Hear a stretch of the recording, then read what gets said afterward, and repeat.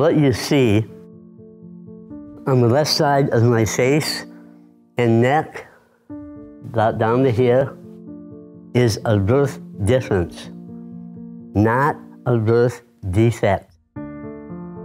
It's taken me a long time to realize that my face is actually a gift. I had never known anyone with a visible disability.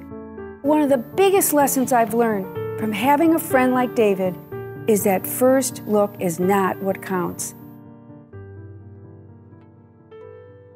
For quite some time, I was silenced, depressed by surgery after surgery, displaced within a body that no longer felt like home. Until I was on the floor one night of my bedroom, head wrapped in a bandage now swollen shut, down on my hands and knees, begging God, pleading for Him to give me back my words, to give me back my worth. I went to this employment agency and instead of doing an assessment of my skills, my abilities, my education level, I was placed in a warehouse packaging boxes. My difficulty, my challenge is on the outside where I've been forced to deal with it. I had no choice. I had to look inside to find my beauty and my sense of who I am. David needed a second look and a second listen. So did I need a second look. You need a second look. We all need a second look.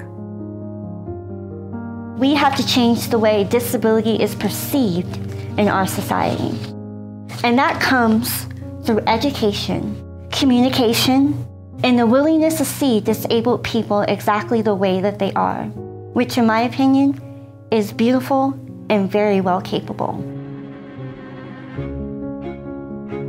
Hi, my name is Khadija Moten. I am the Outreach Director for Children's Craniofacial Association. Our organization is dedicated to empowering and giving hope to individuals and families with facial differences. We are about to launch a brand new program, Encounter. Encounter is a space where prominent voices within the facial difference community can share their professions, expertise, and journey with the world. To learn more about this new program, we encourage you to join our very first live stream event September 29th. To learn more about Encounter, please visit ccakids.org. We look forward to seeing you there.